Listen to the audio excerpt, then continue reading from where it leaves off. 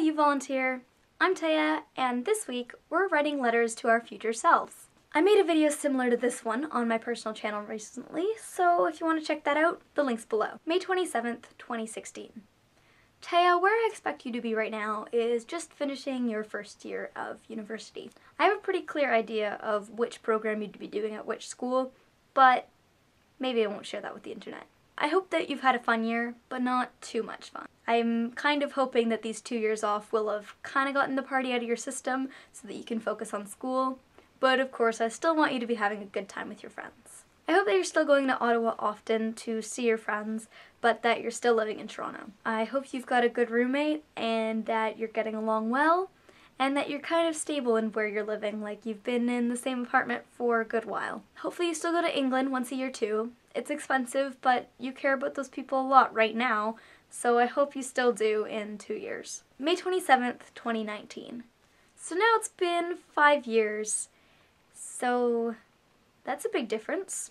I kind of hope you're dating somebody stable, but hopefully you're not married yet. Even if you're serious with somebody, I think that waiting till you're sure that you're ready to be married is a good idea. I've also, at this point, I feel like long engagements are a good idea. But I mean, you know a lot more than I do. Once again, I hope you're still friends with the people that you cared about when you're my age, but I understand if maybe you've lost ties with some of them. You probably don't go to Ottawa very often anymore, I'd assume, but I really hope you still keep in contact with those people as much as possible. I hope you're still doing some sort of theater, maybe improv or sketch comedy or just community theater, just something so that you've still got your acting roots. I also really hope you're still making YouTube videos, but probably with a better camera than this one. I hope YouTube still exists. May 27th, 2024. At this point, I'm not sure if you're married or not. If you haven't, you know, I think you're ready, but if you also want to give it a bit of time, I feel like you probably still look pretty good. But, um, anything that I say for you now will probably make you laugh. So let me think about where I'd like you to be.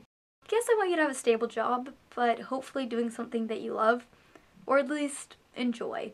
I hope you're not in some job that drives you crazy. I'd expect that some of your friendships have probably fallen apart over the years and that you've got a ton of friends that I have no idea who they are now. But like I said, I kind of hope you still have some of your friends from when you were younger, I hope that you at least talk to them sometimes, maybe even if you're not so close. Because there are some people who I can imagine you talking to forever, even if they're not the best of friends anymore. I kind of hope you're still not intending to have kids. I've never really wanted them, ever, so I hope you haven't just changed your mind because a lot of your friends are having kids. If you make the decision, make it for yourself. Don't do it for anybody else because that's never been your plan, so I don't want you to be doing things just because you feel like you should. And that kind of goes for everything. Unless you're in a really sticky situation, I really think that you should just make sure you're happy. I know it's weird to say, but I think stability is overrated sometimes. And if you need to make a big change, you're still young enough to do that.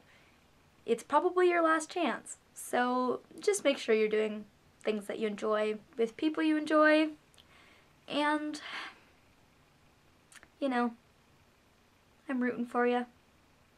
So my question to you guys watching is where would you like to be in two years, five years, and 10 years? Leave your comments down below.